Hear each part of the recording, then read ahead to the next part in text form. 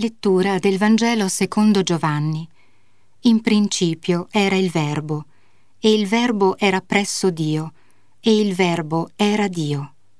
Egli era in principio presso Dio, tutto è stato fatto per mezzo di Lui, e senza di Lui nulla è stato fatto di ciò che esiste. In Lui era la vita, e la vita era la luce degli uomini. La luce splende nelle tenebre, e le tenebre non l'hanno vinta. Venne un uomo mandato da Dio, il suo nome era Giovanni. Egli venne come testimone per dare testimonianza alla luce, perché tutti credessero per mezzo di lui. Non era lui la luce, ma doveva dare testimonianza alla luce. Veniva nel mondo la luce vera, quella che illumina ogni uomo. Era nel mondo e il mondo è stato fatto per mezzo di lui, eppure il mondo non lo ha riconosciuto. Venne fra i suoi e i suoi non lo hanno accolto. A quanti però lo hanno accolto ha dato potere di diventare figli di Dio, a quelli che credono nel suo nome, i quali non da sangue, né da volere di carne, né da volere di uomo, ma da Dio sono stati generati. E il Verbo si fece carne e venne ad abitare in mezzo a noi, e noi abbiamo contemplato la sua gloria, gloria come del figlio unigenito che viene dal Padre, pieno di grazia e di verità. Pace bene amici e ben ritrovati a questo nostro appuntamento con la liturgia festiva del rito, secondo il rito ambrosiano, domenica dopo Natale. E la liturgia ci riporta sempre a fissare la nostra attenzione su quello che è il mistero del Natale. Giovanni, il prologo che abbiamo appena sentito proclamato, racconta a suo modo, cerca in qualche modo eh, l'Evangelista di descriverci, di riflettere, di presentarci questo mistero. E non lo fa attraverso la narrazione di fatti, di eventi, di parole, come avevano già fatto prima di lui eh, Matteo e Luca, ma semplicemente un, una, attraverso una, una riflessione teologica una, una meditazione, un inno che eh, Giovanni innalza descrivendo o tentando di descrivere a suo modo l'esperienza di questa incarnazione.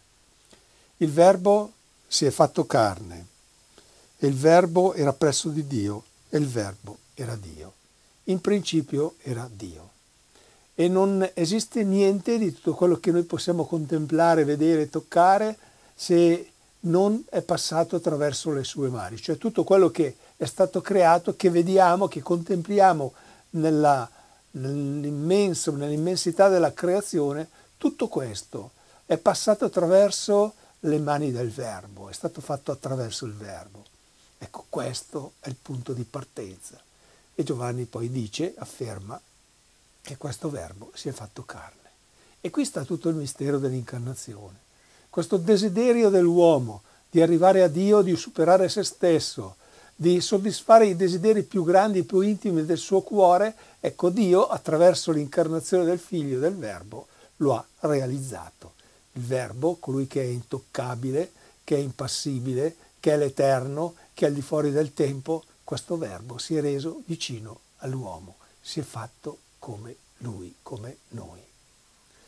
E questo eh, ci rincuora e ci fa capire che noi non dobbiamo, o dovrebbe farci intendere e capire che noi non dobbiamo andare al di là o al di sopra del cielo per raggiungere e toccare questo Dio, perché Dio ha annullato le distanze rendendosi Lui vicino a noi, a ciascuno di noi. Questo è il mistero del Natale.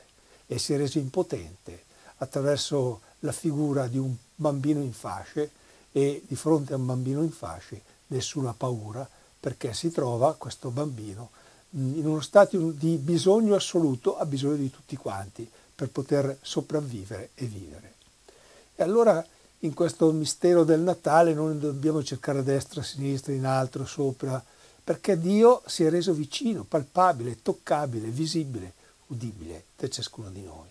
E dobbiamo cercarlo quindi attorno a noi, dentro il nostro cuore, dentro la nostra vita, dentro la situazione dell'adesso, del presente, perché nonostante le cose non vadano proprio bene, lui c'è e c'è sempre ed è sempre, rimane sempre l'Emmanuele, il nostro compagno di viaggio.